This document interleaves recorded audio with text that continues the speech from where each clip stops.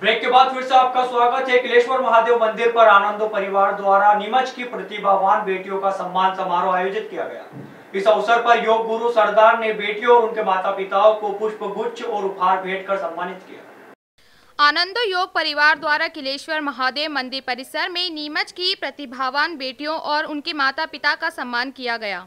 आनंदो योग परिवार ने बताया कि सीमा सुरक्षा बल बीएसएफ में चयनित कठोर परिश्रमी और बहुप्रतिभा की धनी नीमच की पुत्री दिव्या सोनी और केंद्रीय अन्वेषण ब्यूरो सीबीआई में निरीक्षक के पद कार्यरत रीना चौहान व माधुरी चौहान, असिस्टेंट ऑडिटर, वित्त विभाग को योग गुरु सरदार के द्वारा पुष्पगुच्छ और उपहार भेंट कर सम्मानित किया गया। साथ ही आनंदो योग परिवार नारी शक्ति द्वारा दिव्या सोनी की माता मीना सोनी,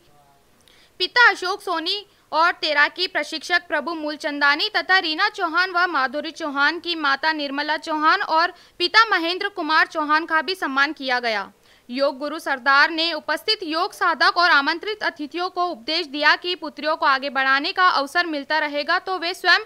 की ही नहीं प्रत्युक समाज की भी सुरक्षा करने में सक्षम बन सकेगी।